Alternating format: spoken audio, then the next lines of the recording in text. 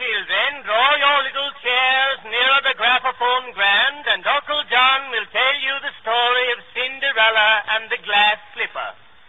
Once upon a time, there lived a beautiful maiden named Cinderella, who had two sisters who were as homely as she was pretty. Their mother made Cinderella do all the hard work in the kitchen, which made her very sad.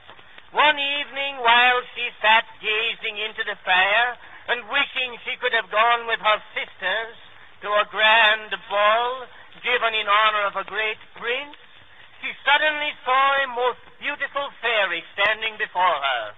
The fairy told her that as she had always been so kind and good, she too should go to the ball that night. A wave of her magic wand, and Cinderella's rags were changed to gorgeous robes of velvet. A pumpkin was made into a chariot, and eight little white rats were changed into handsome horses. So Cinderella went to the ball that night, where she danced many times with the handsome prince, who told her how much he loved her. Exactly at the stroke of midnight, Cinderella had to leave, as then her fairy clothes were to be changed back into rags. And she went in such a hurry that she lost one of her little glass slippers. The prince was disappointed that she had gone as he wished to marry her. Then he sent all over the land to find the one whose foot the little slipper would fit exactly.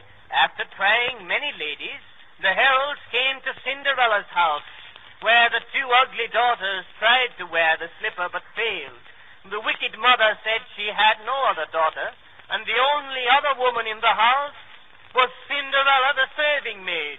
The heralds insisted on her trying the shoe, when lo, it fit exactly.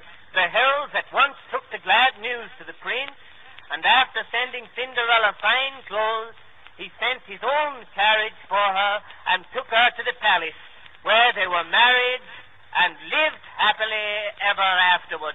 There now, wasn't that a nice story? Run off to bed now, little ones. Kiss Uncle John good night.